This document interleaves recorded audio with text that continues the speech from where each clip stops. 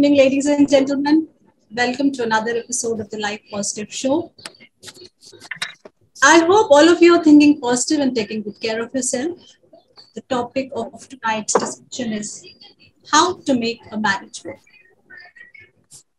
We are taught plenty of things in school, but we are never taught how to handle relationships, especially marriage, which is one of the most crucial and pivotal relationships of our lives.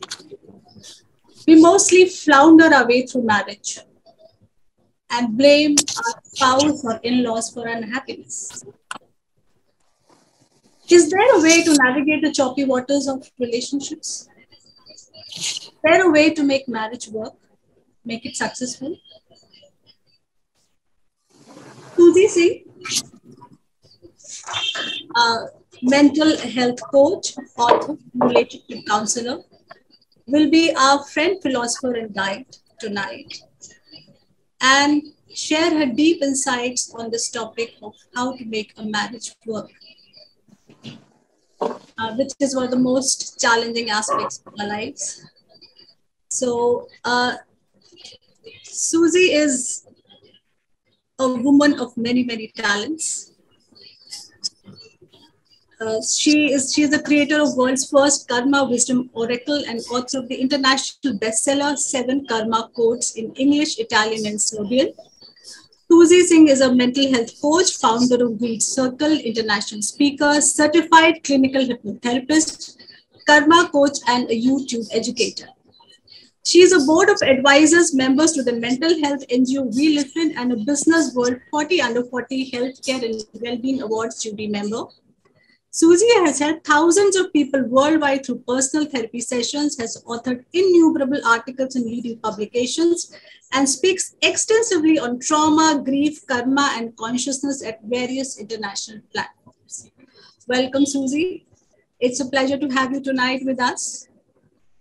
Thank you very much, Shivi. And I'm so glad to be back into the Life Positive family with today's show because I've had a very long and loving association with this family.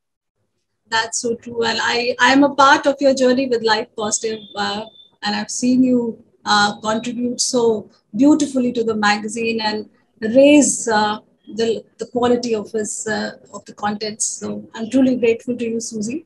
So let us begin with the first question tonight, which is uh, Suzy, I want to know we enter marriage with plenty of hopes, only to realize that marriage is not a bed of roses. So, why do you think, uh, or where do you think we go wrong? So, Shivi, I'm just wondering, you know, we all had a lot of opportunity to do these work from home calls during the pandemic. And uh, I'm wondering if you've ever had this experience where you speak to someone for the first time on a Zoom call and you create a certain impression about that person, thinking, he, oh, I think in real life he'll be really tall and he'll be well built, etc. You develop some perceptions about that person. And then you go and meet him in real life and you exclaim that, oh my God, I almost expected you to be ABC, right? So that is what before marriage and after marriage really looks like because your perception is colored by your imaginations, your fantasies, what you believe to be true, and reality can be pretty much different. The first reason for this is your own expectations because they are based on fact and not verified. Uh, they're based on fiction and not verified facts. So there are many marriage myths that create these perceptions. For example, the first one is um, when you think of marriage and you think of love and you think of walking into the sunset holding hands together, and immediately there is a feeling of there'll be a lot of romance. It will be a romantic association. And I've had so many couples come to me with this issue, women in particular, who feel that, you know, we want that element of romance and it's completely missing. There's no spontaneity. Everything is by the book. Everything is agenda based. Ye karna hai, wo karna hai. Where is the romance in the marriage? So that expectation of romance starting from in my time, I remember it was Enid Blyton's and the tall, dark, handsome Italian man, and expecting that your partner is going to be like that. And I'm sure there has been a lot of that expectation of the man who's going to come on the riding on a white horse and sweep me off my feet. That doesn't happen. And then there is this whole idea. The second uh, myth is that my partner will complete me. So you go into marriage with this idea of, okay, uh, in my family of birth, I encountered, you know, many things that created an emptiness or a void inside of me as I was growing. And I'm hoping कि when I meet my partner, the right person I want to spend the rest of my life with, then he will take care of me. He will fill the void. He and I together will be a complete whole that he and I together is going to be a complete whole never ever happens. And that creates one of the key issues of dissonance in the marriage that I thought that we were going to complement each other. I thought you were going to stand in for me and support me. What happened? Then there is another myth that a lot of women, particularly in our country, feel that जब शादी हो जाएगी then I will be free to do as I want. I will finally be able to go out. We'll be able to do the things that we wanted to do. We can go for the movies and we can go to the restaurants. And it's particularly those who've grown up in environments which are orthodox or where there has been a lot of control in the family of birth. And what they don't factor in is that there will be many other constraints that being married are going to bring to you, even if you're in a nuclear setup, even if you're living on your own. So these are the three mythical issues. There's a fourth one, which also creates a lot of trouble and is least spoken about. For the uninitiated, those who have not been in relationships before, there is a feeling that the sex will be great and I will experience bliss because they've seen so many of those movies and the Suhagrat concept, and all of it looks very beautiful on screen. But they're probably going to uh, have trouble. It's not going to be such a great experience. It takes time, skill, expertise to be able to learn each other's um, how to stimulate each other, how to satisfy each other. And this is a subject never spoken about. People are shy. And trust me, this is one of the paramount issues which we unearth in marriages with trouble that we are not satisfied with either the frequency of um, intimacy or we're not happy with um, feeling that's oneness when we are together. Or there is just not enough um, time spent in arousal and you're just bashing around in bed and you know getting it done with and i think somewhere Paulo Coelho has contributed to this by writing his book 11 Minutes because it's not an 11 minutes thing.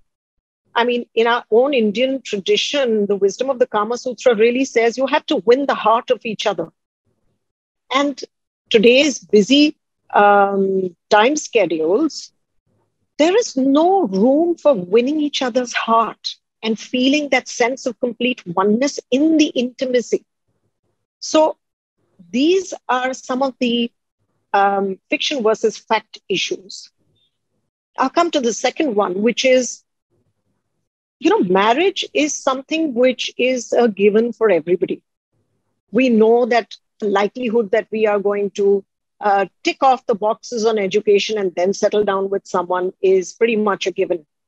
And yet, we have absolutely no training, no tools, no frameworks that are provided to us. We walk into marriage being completely ill-equipped. And so what happens that if you've been part of a nuclear family, let's say, then you only have one framework of reference that is your parents' marriage. And if your parents' marriage has been troublesome, then you think that is the only way marriage is.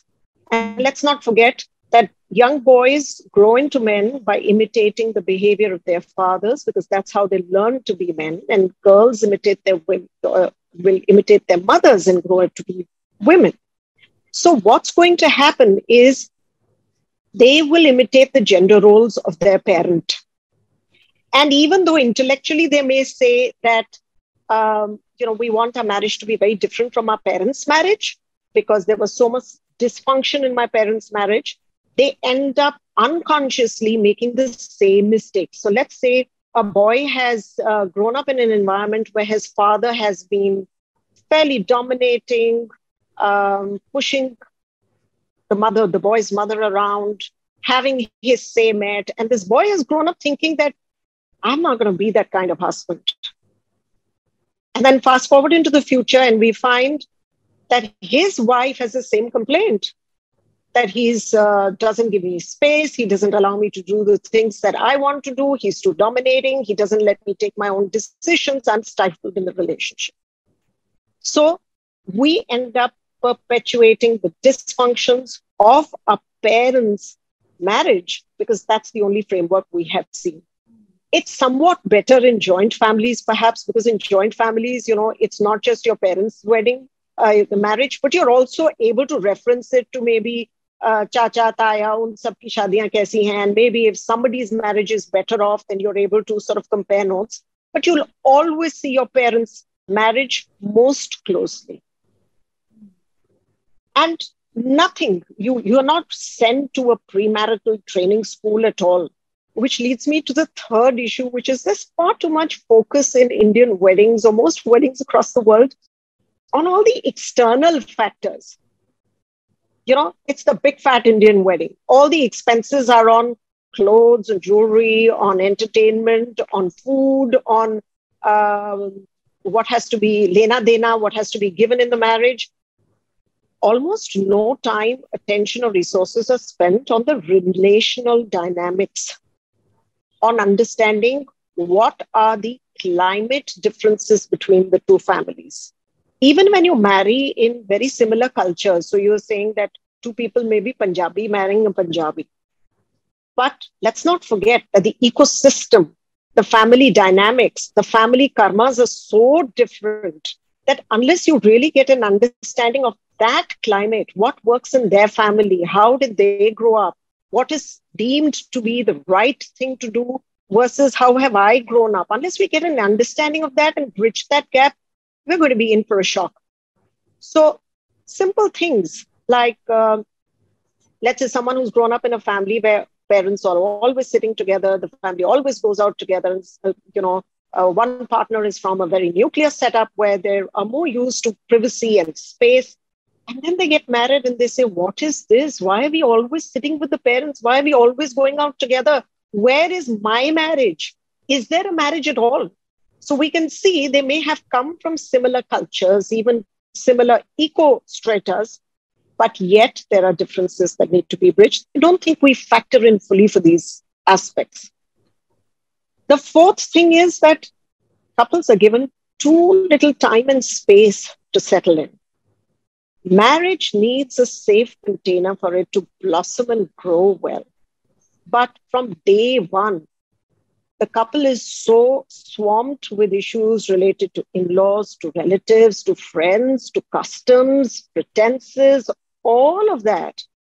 And so much of their energy is spent in either pacifying or blending in or accommodating or adapting to the needs of everyone else that very little time is spent strengthening the relationship between the partners and I truly believe that couples must be given at least one to two years of enough room and private space to be able to understand each other, strengthen their bond, learn to honor and respect each other, so that then from that uh, ground of safety, they can then learn to respect and honor all of the uh, stakeholders in their families.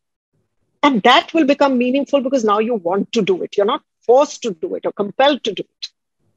So these are four. And the fifth, which is, according to me, the most important, which is there is a life design. And nobody tells us this that we are going to end up with partners who mirror the same wounding patterns that we had with our opposite gender parent. So let's say that I have a problem with my father, or uh, a boy has a problem with the mother in childhood. they will attract the same sort of partner. And this is a design of nature to help you frequently interact with that wounding pattern to be able to heal it. First, recognize it, of course, and then attend to it and to heal it and to overcome it, which really means that time and again you're going to encounter some sort of friction, disturbance, pain, struggle. And the problem and the fault is not with the other, but that it is nature's design to help you polish and reform your own consciousness and your own wounds. Um, so these are these are some of the reasons why marriage can be uh, a bit of a shock to our senses. So, with uh, what idea should youngsters enter into marriage? Uh, because unless until there is an incentive, why would anybody want to get married? And these are the incentives that you'll get a romantic partner, uh, you'll have somebody to uh, share your uh, so no challenges or uh, sufferings with or you'll have somebody to fall back upon in times of need and you have an emotional cushion would be available to you so if this rosy picture is taken away and this reality is presented to them don't you think that uh, people in the first place would not want to get married? I mean what's the whole point if this is the if uh, that is going to be my ordeal after marriage? Why to marry in the first place? So, what should be the you know the correct representation of marriage before youngsters if we want them to kind of have a happy and harmonious married life? Later on? So I'm tempted to give you several answers to these questions. As you were speaking, there were many thoughts uh, in my mind. And the first one is if we rewind, we didn't even want to come into the embodied form because we knew this was going to take a lot of hard work practice, right? and which is one of the re- reasons that when a baby enters this reality and the spirit is fully embodied into its uh, physical body, it cries because it knows, okay, this is not going to be a playground, this is going to be a classroom. So I am going to have to work hard. I have uh, set up challenges for myself, and they're all part of my evolution and growth. So, if we take that context and now transpose it into so, why should someone want to get into marriage? There is a step that has to happen before marriage, which in a lot of cases is not happening. It's a missing piece these days of the puzzle, and that, that piece is called individuation. You know, in the tribal cultures, when a boy or a girl came of age, there were rituals to help them become individuated, which meant that they they were able to overcome their own fears. They were able to attend to their own needs. They were able to make themselves safe and they conquered their demons and they came back into society, then got married, and then learned to take care of another, which is a partner, and then contribute to the community as a whole. Which is why we know that there were um, many rituals, individuating rituals, which some of you may be familiar with, where a young boy uh, post puberty is then taken into the forest and left there for three days so that he can overcome the fear of all the animals. And then he's brought back into the village. And uh, he is then announced man. He is then allowed to marry, and then he's allowed to contribute, work, and contribute to the village. I don't think individuation is happening today. So, what's happening is we have um, young adults, 30 uh, year old teenagers who go straight from their parents' hotel into marriage and then hit the shock like whatever happened to my life. They're not individuating, so they're not feeling confident about being able to take care of themselves and then take care of the other, which is the partner. Unless you are able to do that, you're then just looking for satisfy my needs. And mm. that is a very infant uh, or infantile requirement you know you can't live your life or go through life thinking um, if my needs are met i'm okay. You can't look at marriage as a way that the other people will satisfy my needs. I need to also be able to work as a fully individuated individual who can take care of myself and also take care of others. Now when we come from that space we know how to create that understanding with each other. We know how to experience the joys of uh, intimacy And when I say intimacy, I'm not referring to only bodily intimacy, but I'm talking about intimacy at all levels, being fully present for the other person, showing up during difficult challenges, um, understanding their psychological needs. So you can see that we have a very different partnership if somebody has individuated or a marriage where both individuals have individuated and then they come together, offer each other space as well as connection, a deep connection. Right. Okay. Um, I think this is a kind of still, you know, some way of this kind of uh, evolution that we want in, uh, to happen in society where men and women are so so self-aware that they eventually form very beautiful partnerships but then self-awareness is it's, it's quite a journey. And uh, you know unless and until the parents themselves are self, self-aware uh, they would not really facilitate their own children into going onto this path and uh, you know, uh, becoming complete people in their own selves. So that's all I think related to a huge amount of self-awareness which the society requires. So uh, let's look. Let's just look at you know what you just mentioned. In so many marriages, in bad marriages or difficult marriages, having trouble, we so often hear the parents saying, "Bacha kar lo, solve ho jayegi problem." Mm-hmm. Now, can you imagine? You have not individuated you're still having trouble with your own self and with your partner, which is why you're not showing up in the other person's life fully. And you're going to bring a soul into uh, this marriage and then expose him to the dis- your dysfunctions. And that child is learning and embodying or imitating the same dysfunctions. This is the problem. We are not willing to, as individuals, say, okay, I will only have a child when I feel financially, mentally, spiritually, psychologically ready to take care of another soul I'm navigating the soul. I've been assigned the responsibility of be giving him the gifts or her the gifts of um, becoming fully blossomed humans. वो तो ठीक है लेकिन ये भी होता है कि women are always under the pressure of marrying early so that they can have children otherwise they wait too long for themselves to become emotionally psychologically and financially strong so they might you know the time I might be off and they may not be in a physical position to bear children so so Shivi you are talking you are talking about the body clock here and let me make the point that the problem is not that uh, itna time lag jayega to become um, ready for marriage. The mm. problem is nobody starts readying chil- their children for marriage. I started having these these this, this sort of training or marinating my children into this sort of training from the day they were born, or even actually before they were born when they were still in the womb. Okay. So so the question is, if we are first we as parents now we can't talk about what happened to the generations behind, you know, that that preceded us, because uh, that would be unfair. I think our grandmothers went through a very different sort of social environment, and they struggled a lot.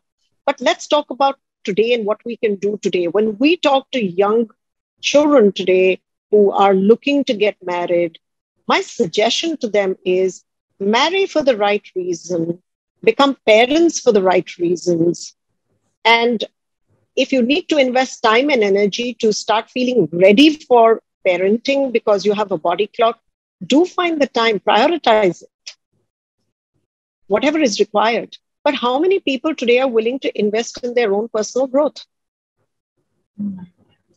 Everything is so externally focused. Okay. So, uh, uh, Suzy, let, us come to you know the real marriages. Uh, where you know people are into marriages and they're facing difficulties. They might not have the luxury or the privilege to have such parents or such an environment uh, where they could really uh, go into self exploration first before uh, tying the knot. Um, but still you know it's not that people who are into marriages they don't want it to work. They want those problems to go away. They want to have a happy and harmonious uh, relationship with each other. But there are several factors that come into play and certain few things are very common like you know men com- uh, women complain that men do not listen. And men say that women nag. And women say we nag because he doesn't listen. So how to kind of break this barrier? How to kind of you know resolve these issues uh, where people are not standoffish but they can actually understand the place from where the other person is coming which is like i find it very surprising. Two people are wedded for life. They're living with each other they share the same bed and yet there's so much of you know mental uh, distance from each other they can't understand that's uh, something very surprising so what do you have to uh, say about such people who are wanting to bridge this gap between their relationship so you're absolutely right, Shivi. And the, it's a real pity that, again, this goes back to what skills and training we've been provided. Are we ever taught to communicate or to listen? That is the question. So here, women are nagging because they don't know how to speak in a way that they will be heard. And men are not listening because they haven't developed the art of listening. And in a lot of couples therapy, this is one thing that I work very actively with the men, where I help them listen and I help the women learn, or in fact, both partners learn how to speak each other that puts them into learning mode rather than into conflict mode. So typically, there are three areas. And the first is how to communicate effectively. Here, when we just talk about uh, the process involved, you first need to check in with yourself and know what am I feeling? Now, very often women just react. They're not even entirely sure, or whether it's men or women, it's not specific. I, I don't think it's always women who nag, and I don't want to categorize them like that. But I'm saying partners when they're upset and they want to approach or problem solve, they go straight into their reaction and saying, tumne ye nahi kiya, ya tumne ye nahi kiya. That's, that's blame mode, attack mode. Instead of first checking in and saying, okay, do I know what I'm really angry about or upset about? And why am I feeling this? So first excavate your own mind, your thoughts, and your feelings. Then you need to know how to express that problem without blaming, shaming, or complaining. Thirdly, you need to then observe to see how what you're saying is landing for the other. Is that person going into protection mode? Is that person wanting to run away? How is that person behaving? And finally, you need to reconfirm if your what you're trying to express has been interpreted correctly or not. These four steps are very, very important because usually what happens is one person who's feeling upset or angry and agitated is going to say something which is provocative or which will, uh, in simple words, piss the other person off. That other person will react because they're feeling threatened. So they'll go straight into protection mode. When you're in protection mode, no learning can take place. So you actually, he's shut down or she's shut down. They're not even listening to your problem now. And because they've shut down, you feel you're not being heard. And this just becomes worse with time. And then both of them either they decide not to talk to each other. The problem is lost in the reactions. There is no learning happening here. And this is usually either people will be silent for days and not speak to each other or pretend everything is normal, brushed under the carpet, but the pain keeps accumulating inside and the relationship becomes more and more distant. The second thing is that you must know when to communicate.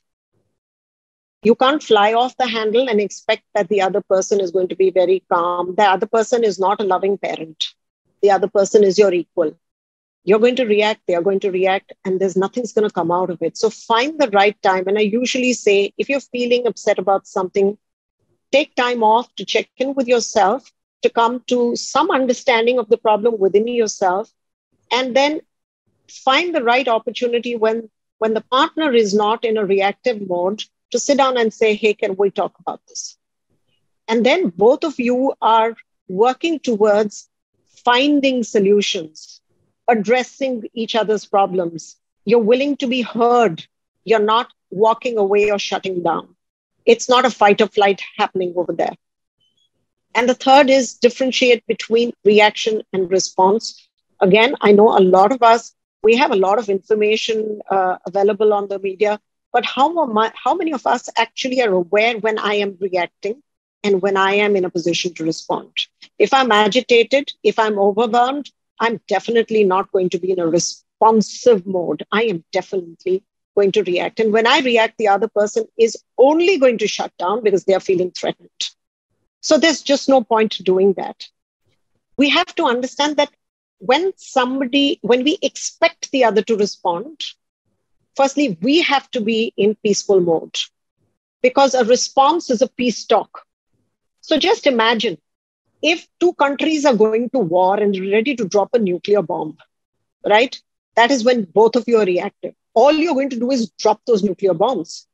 But if you are looking at having peace talks with two countries, how would you go into those peace talks? How will you dis- you will discuss, you will negotiate, you will listen to each other, you will want to shift your position, have an open mind, be willing to see their perspective too. Does this really happen in a real marriage? It's not happening because we don't have the skills of communicating, of listening, of speaking in a way like we can be heard.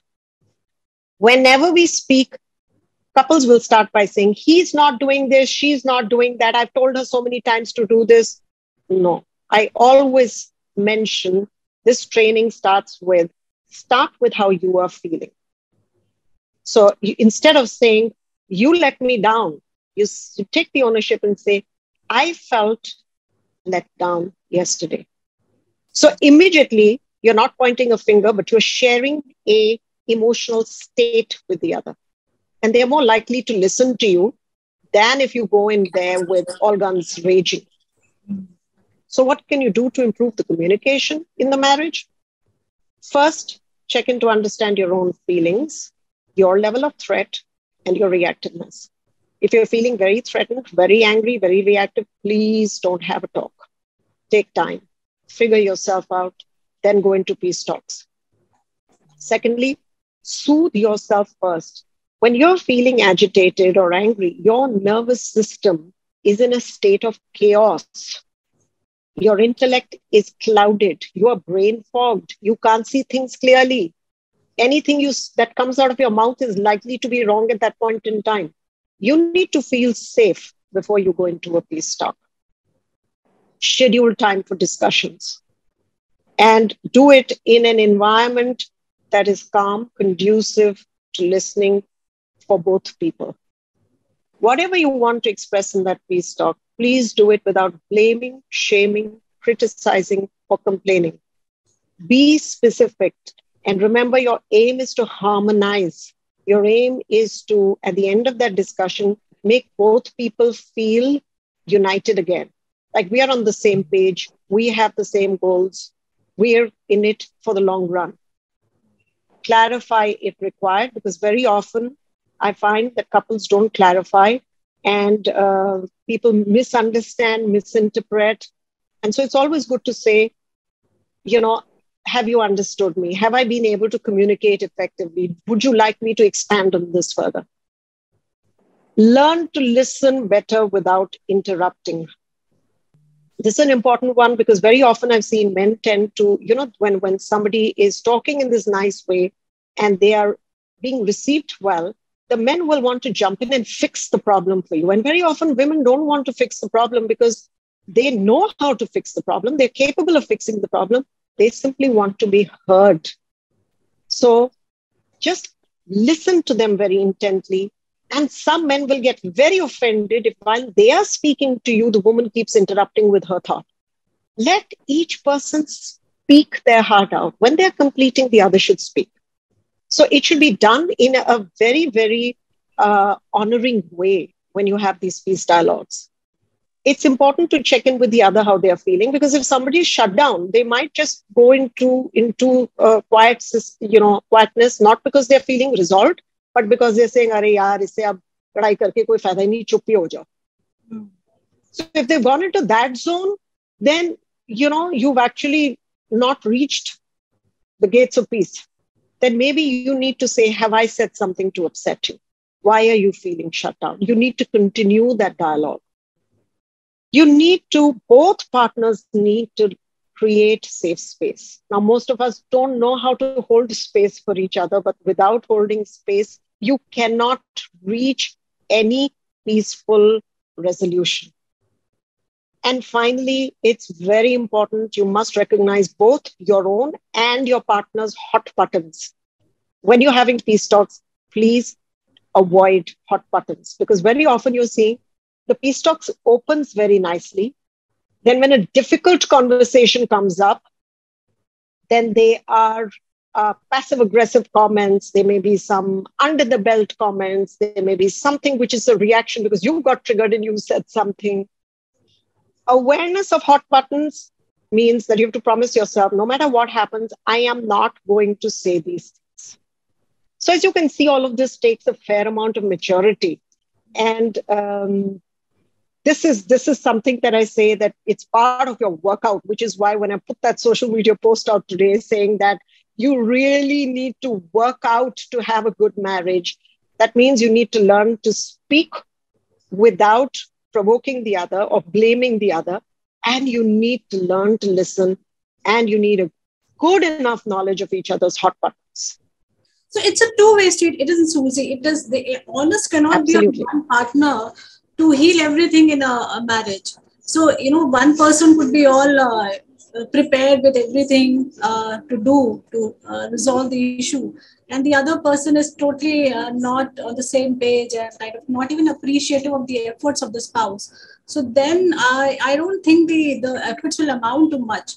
But it is essential that both of them are in this mind space that uh, both of them have to grow uh, or reach a certain space where communication is happening seamlessly there's proper understanding and proper resolution to things because uh, it's and this is where the challenge lies that both have to have that kind of willingness and as well as awareness to be able to uh, resolve issues uh, fairly. You know, uh, Shivi, this is a bit idealistic because let's be honest, when when two people come into a marriage, they are never they are never at the same level of um, psychological or spiritual maturity.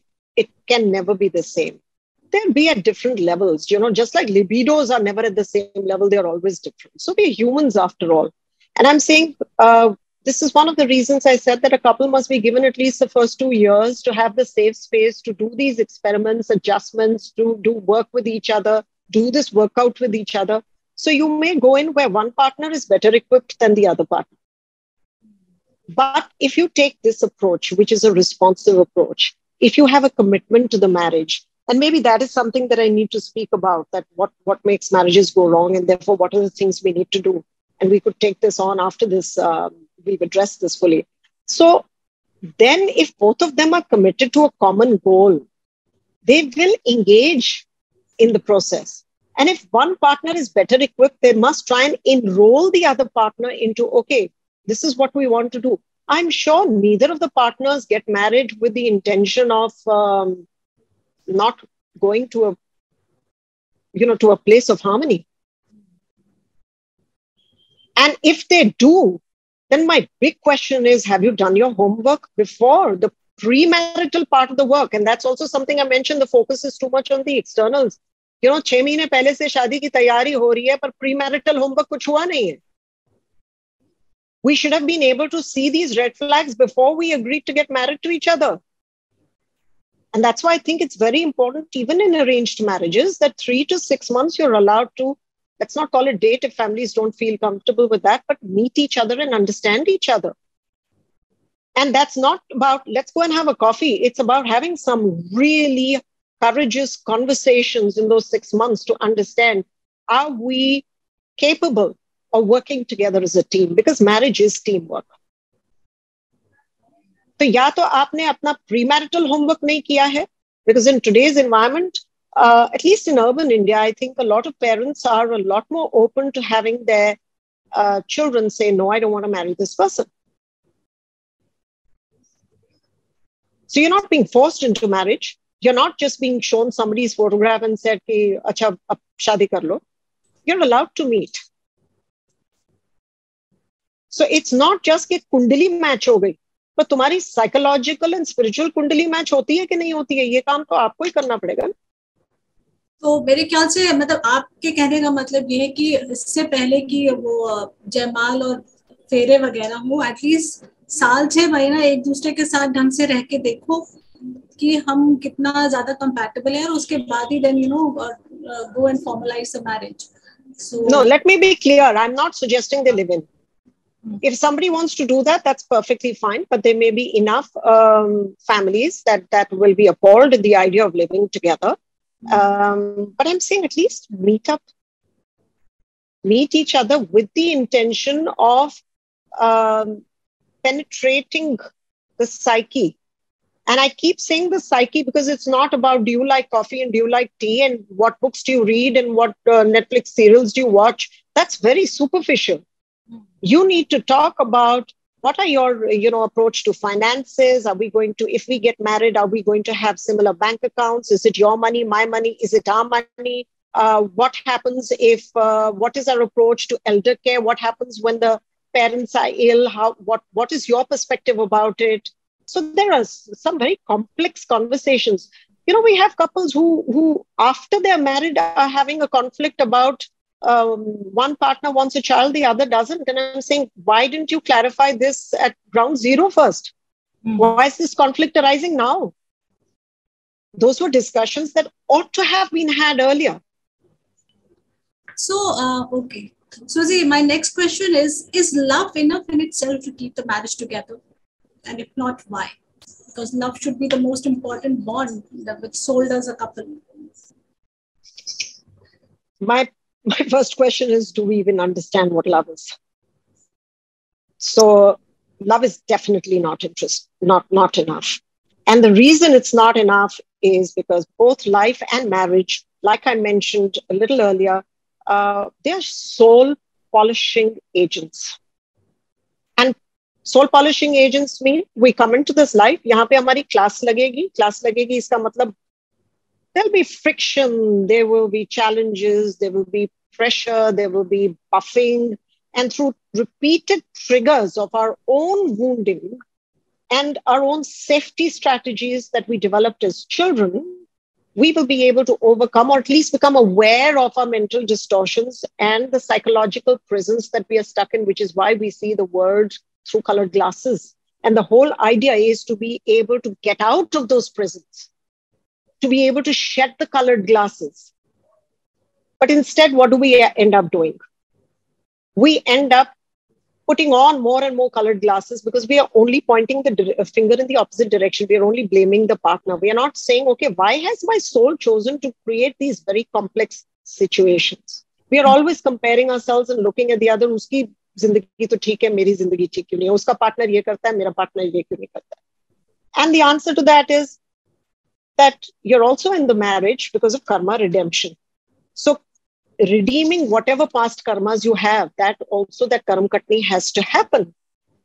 And then through that you will become more aware of your own pain. You will become aware of being more empathetic towards the other person. Your whole spiritual journey can begin because let's face it, without any sort of wounding and suffering, we don't even get onto the path of spirituality. You know, we only start searching for truth or for what is life all about when we are going through immense pain in our lives. So we also need to recognize कि हमारी दोनों की families में कुछ ना कुछ dysfunctions भी होंगे. Are we going to perpetuate them blindly? or do we want to put an end to those family traumas and to those uh, family dysfunctions and are we willing to be better parents to the progeny that we together will create right? So there is dealing with the past which is your past karma. There is a future possibility of uh, being better parents and raising what i call the golden children of the future. And there is this present and current issue of how can I heal my own or get out of my own mental prisons of the uh, psychological wounding that I encountered as a child? Because that will help me develop new tendencies, new capacities within myself, which is why I took birth in the first place. So, roughly becoming more self aware of yourself and healing your own self, it starts there, redeeming past karmas, attuning to the needs of others so that you can be more unity conscious and then ending the perpetuation of family traumas and errors. Now tell me, does this look like marriage is about love? This looks like real work. And that is why I say that if you are, uh, if you want to become aware of your own traumas, your own wounding patterns, then there is a lot of self awareness and self study. You have to put yourself under the microscope and study yourself very diligently.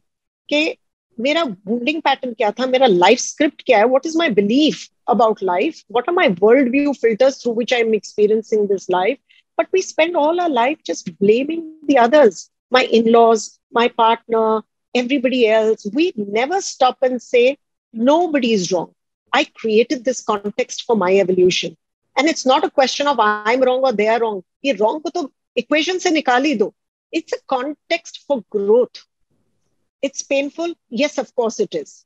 Somebody else's life is better. No, it isn't. You don't know what challenges they are going through. Everybody has their set of challenges. Everybody has come here to refine themselves. We will all be afflicted by our families of birth. We will be wounded there. And then we will have the opportunity in the family of affinity to refine and polish our souls and become better humans. Okay. So, uh, especially in uh, say marriages we often see especially uh, cases of uh, newly wedded uh, women. So they they do you know kind of uh, create a love, rosy picture of marriage. And then when they enter then they realize that the husband is not uh, standing up for her. And the, especially if the mother-in-law is very difficult or the, the in-laws are very difficult and demanding. And the mother then feels that the son is neglecting me just because he's bought a new wife. So there's a clash and a conflict of interest right you know in the say the house where the girl has entered. So how what should be the husband's role in such a situation? Because he's the one who's getting sandwiched between two parties. And yeah. we see that a lot of uh, anguish and pain uh, is resulted uh, results uh, because of this situation. Yes, absolutely. And, uh, you know, a simple visual answer to this is if you take a glass jar and you add some TT balls into the glass jar, and then you add one last ball to it. And we find kya hota hai, ki all the other balls get displaced to make room for this last ball. I think that is what needs to happen in a marriage when there is a new person coming into that ecosystem, everybody has to move back and create room for this new person. Okay? There has to be a clear understanding that there will be an energetic shift in the dynamics in that family. And it's not just marriage.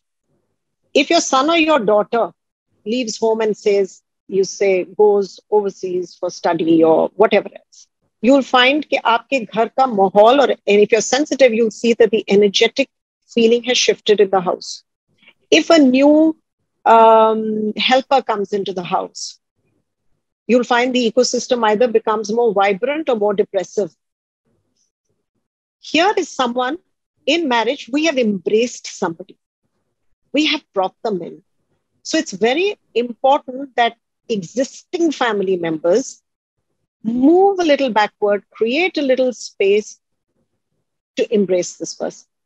And I'm saying it applies both ways. If it is a gharjawai situation, तो फिर वो लड़की वालों को ये करना चाहिए अगर लड़की लड़के के घर जा रही है तो लड़के वालों को ये करना चाहिए it's not gender specific it's saying there is someone coming from a foreign uh, environment into this ecosystem all of you are well bonded, you know each other. This person needs to be absorbed into this system. So it's very important that the son will need to step out on his own hero's journey and make room for the new partnership, which means he needs to go out, he needs to be ready to battle the challenges, which means understand that things are not going to be the same with my mom anymore. I am ready to take on the crisis that that will create. I will discover something about my own self in the process, which is the hero's journey. And then I will come back into the relationship with the mother more evolved. So he must, the son has to set out on a hero's journey. He can't expect jaisa rishta pehle tha shadi se pehle, it will remain the same. It is not possible because the energetic dynamics has shifted. What he also needs to do is to encourage both the wife and the mother to build a direct equation. Now, very often, this is an error a lot of people make. The mother in law, because she's more comfortable with her son, she will route all communication or difficult or challenging communication through the son. And the son becomes the courier between the mother and the wife. That's not his role. But he needs to be able to find the courage to stand up and say, both to his mother and his wife, Ab directly but you don't like something, speak to the other person in a loving, respectful manner. And then he's encouraging a strong bond to be built between those two people directly. He must also discourage the mother's criticisms of the wife. Now, this happens very frequently, kaibari overtly, kaibari covertly, because the mother has an old bond with the son. If she has any resentment, she will either quietly slip it into a private conversation with the son or she will express it openly. Not realizing that by doing that, I'm really putting my son into an awkward position. Number one, I am pulling him away from this new equation where he needs to grow roots. And I'm also making it very complex for him because he's going to go into that room and say, What am I going to do with this new information my mother's just given me? Obviously, she wants to fix something. If she doesn't have the capacity to fix it directly with her daughter in law and to build a loving bond with her daughter in law, how does she expect the son to do it without damaging his partnership with this new person? So, this is very important that the son discourages. वो अब सीधी तो बोल नहीं सकता कि मैं कुछ नहीं कर सकता. But he can keep rerouting and saying, Mama, if you feel this way, talk to her now. And then not go back to his wife and uh, carry that baggage to the bedroom. That should not happen. It's also equally important to listen to the wife's pain. The wife is adjusting in a new ecosystem. She may have ha- may have some hygiene issues, hygiene factors. Hey, I find this different. It was different in my house. You know, little things. They don't have to be big things, but it could be something simply like when I go to the toilet, you know, um, इतनी दूर है bathroom वो सब देखते हैं मुझे शर्म आता who else will she speak to if not her partner so he has to have a year for her pain he has to be able to problem solve for her she's in unfamiliar territory so on the face of it it might look oh this is not equal this is not fair why should he say no to the mother and why should he listen to the wife and i'm saying because the mother is on home ground the mother has her own husband to share a pain with. Who does this new entrant talk to? So it's very important that that happens. And the boy has to unshackle the relationship with the mother. Because the girl has anyway had to alter or adapt her relationship with her parents. She's also doing it. It's not unique only to the boy both partners have set out onto a new journey of life. Both their equations will change with everyone they've known before, including their friends, including their families, and they have to be ready and willing to take on this change. They have to reorient, they have to adapt, and they must develop a new relationship, and the new relationship will not resemble or replicate the old relationship. So, sons have to take on the onus of saying, okay, I will take the hero's journey, even if I need to sort of uh, detach for a period of time while I'm attaching to my wife, but I will come back and be able to honor my mother in the right way. This is a complex one. There is a great onus on um, the boy to be able to simply navigate the direction properly because unfortunately in this context it's always the girls who've been told तुम्हें adjust करना पड़ेगा किसी ने लड़कों को नहीं सिखाया कि तुम्हें भी एडजस्ट करना पड़ेगा किसी ने ये नहीं समझाया कि डायनामिक्स बदलेंगे माँ के साथ सेम नहीं रहेगा कोई नहीं बात करता, ये बातें तो कोई करता ही नहीं, जबकि ये कहा जाता है कि कितना अच्छा लड़का है, देखो शादी के बाद भी नहीं बदला। और लड़की से उम्मीद की जाती है कि तुम बिल्कुल ही बदल जाओ, अगर नहीं बदली हो तो that's a matter of shame so this is a very unfair and it is been going on in society for a very very long time and I wonder why the human society never thought of opening up some kind of you know education institution uh, which can coach people on how to have a happy and harmonious married life and how to navigate these treacherous relationships which are they which always come into play and uh, do change the dynamics. They sometimes the husband and wife get along with each other very well, but it's like the external factors which will distort things, and then they don't know how to handle.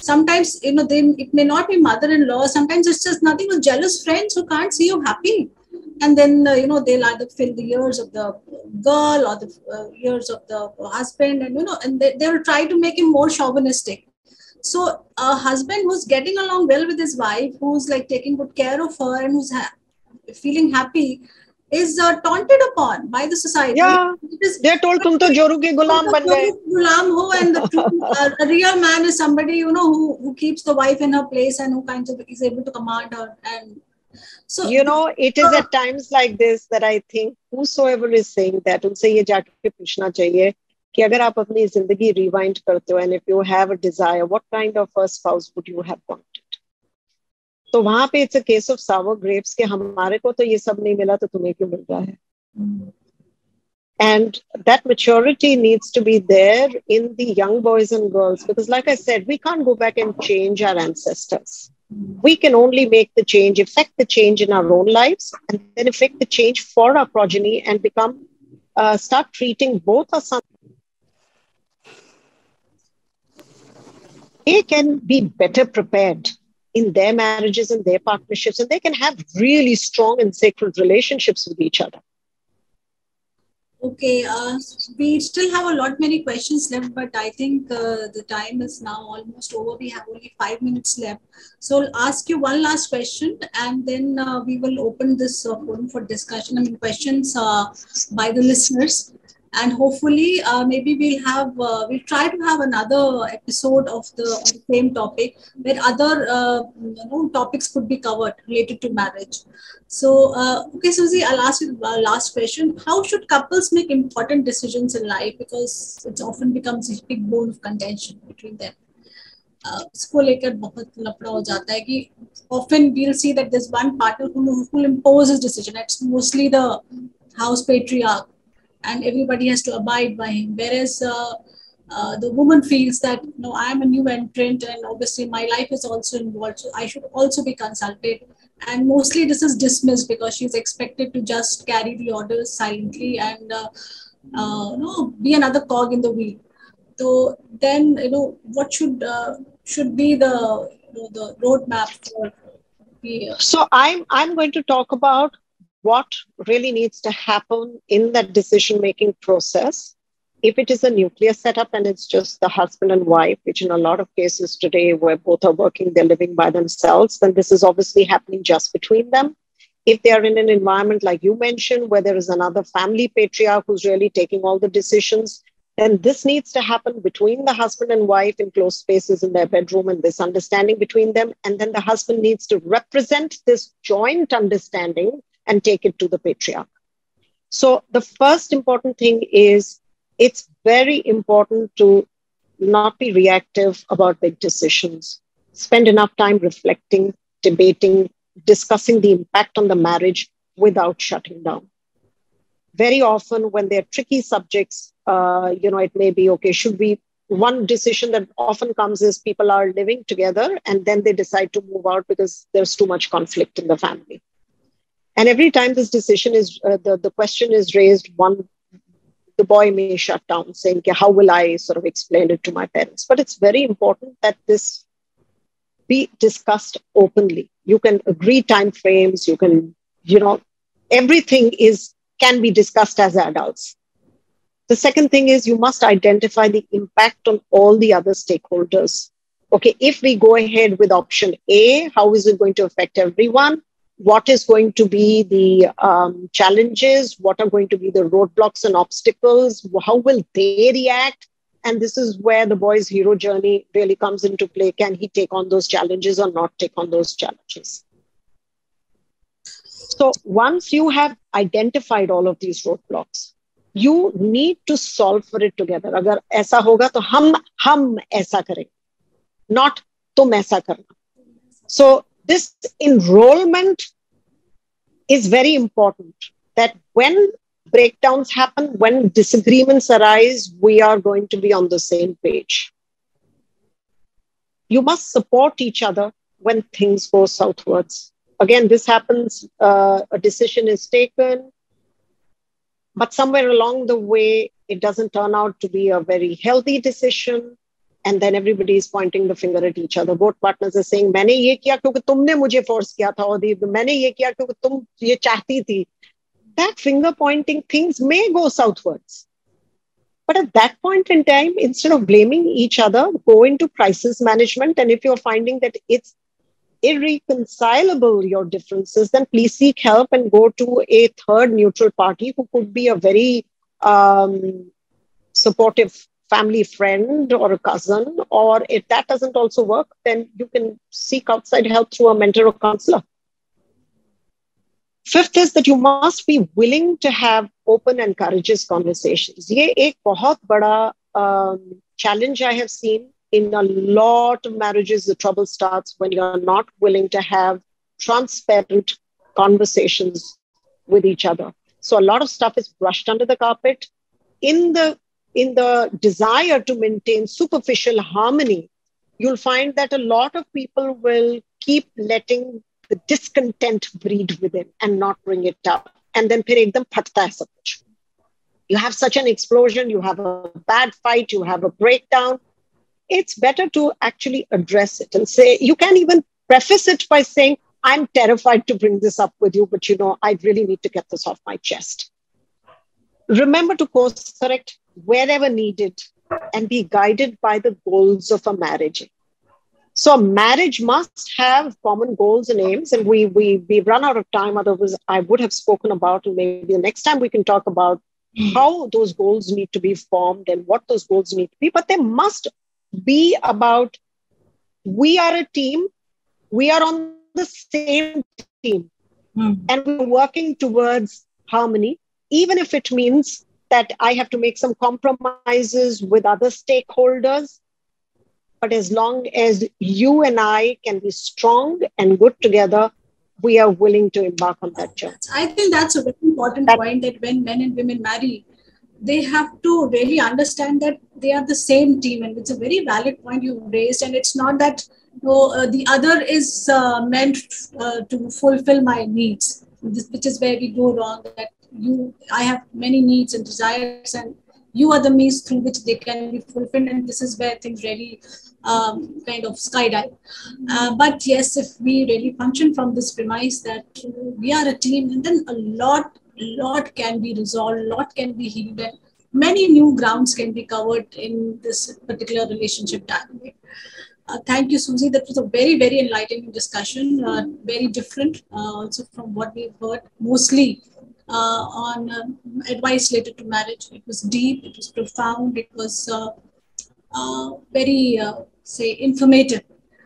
Uh, and also you know kind of something which which, which is very thought provoking also. So okay i would like the listeners tonight to you know, ask their questions if they have any. Hi i just wanted to ask one question here. Please share your name. This is shruti here. Um yeah i just wanted to ask if uh, husband and wife are working there would be a financial uh, mm, misunderstanding and everything how to handle that one just a question because so misunderstandings probably arise because there isn't complete transparency um, about the finances Shrishti. Mm-hmm. it's very important either you haven't really spelled out what the issue is because uh, obviously either either of the partners are not coming um, transparently with what they are earning or what they are giving to the parents. And this siphoning of funds quietly without um, sharing it with the wife happens in many cases because they feel the wife will oppose. But uh, even if the position is tight and if the husband has a desire to contribute to his family or his parents he should have the confidence that I can discuss it openly with my wife and she will support me. So somewhere I sense that there is a breakdown of trust in each other, or that trust has never got built. Mm-hmm. So I guess what you need to focus on is building the trust, then having the courage to have transparent conversations, reassuring each other and saying, regardless of what is your approach to the finances, we can sit down and talk about them as adults. Now, if you have something in specific that you'd like to, you feel comfortable sharing more openly, I could perhaps give you more specific uh, solutions. Uh, Suzy, uh, if you want, you can you know share your email ID or phone number if you want, so that if uh, the listeners tonight want to uh, contact you privately for uh, counseling, they can.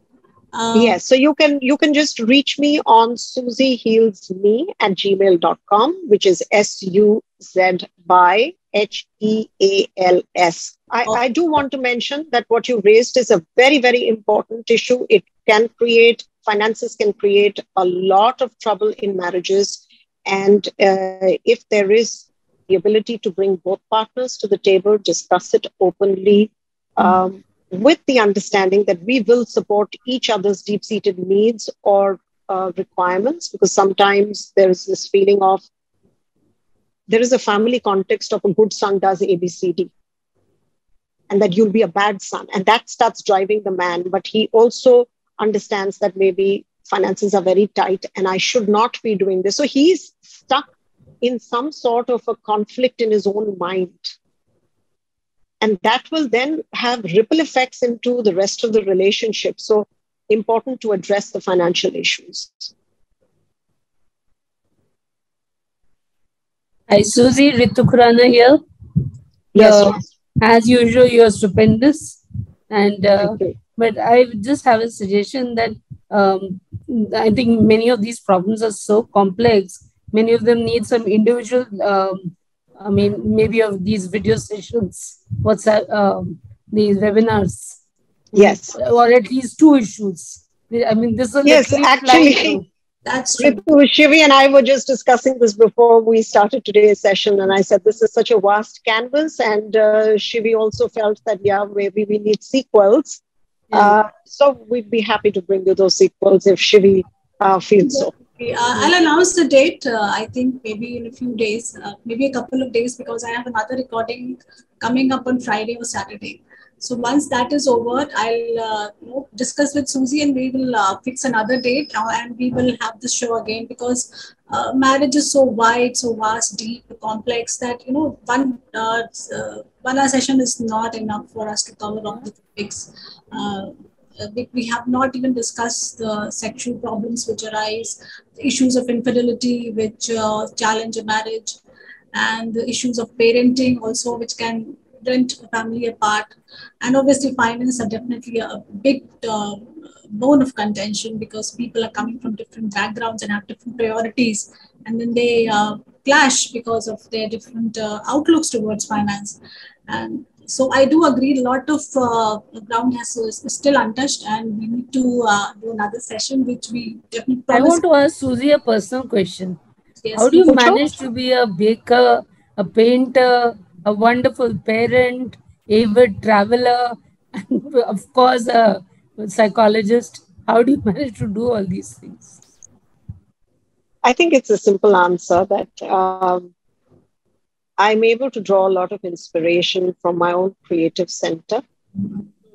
And um, I work very, very intensely on myself. So my day doesn't start, uh, my morning prayer is for myself.